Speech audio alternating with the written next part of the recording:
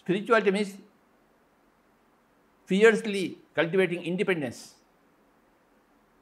That is spirituality.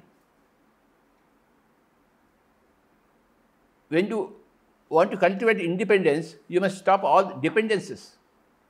Any type of dependence on puja, prarthana, blessings, ashirwad mangna, dawai khana, jadi buti khana.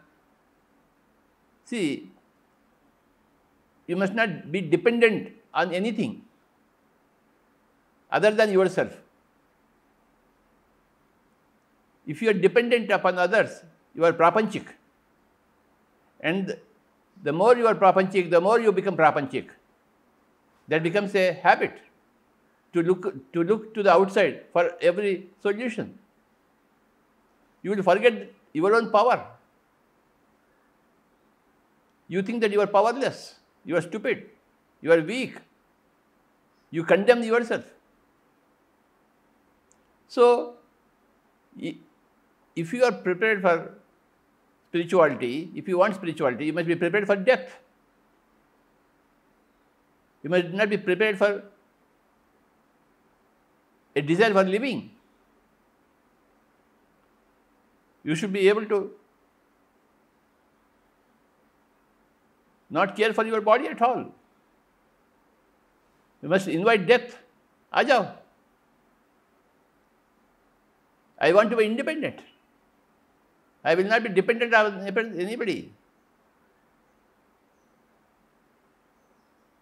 So if you are dependent on medicines, your puja, part, guru, ashirwad, bhagwan, prarthana, vagera, vagera, you are always going to be prapanchik. Puja, prarthana is highly prapanchik phenomena. That's why no puja, no, no prarthana, no ashirwad mangna. That's what we cultivate here in Pyramid Spiritual Society movement. No dependence whatsoever.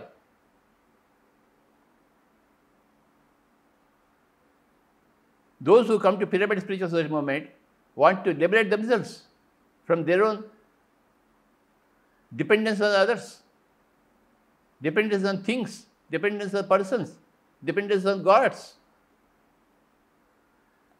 Therefore, no things for us, no medicines for us, no doctors for us, no gurus for us, no gods for us.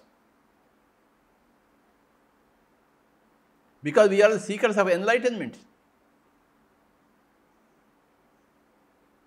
I want Buddhas.